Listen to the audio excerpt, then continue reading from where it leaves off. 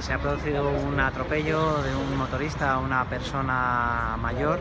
Eh, cuando llega la primera unidad nuestra, la persona se encuentra en estado crítico y posteriormente entra en parada cardiorrespiratoria y pese a que intentamos hacer todas las maniobras de reanimación, no podemos eh, revertirla y el paciente finalmente ha fallecido.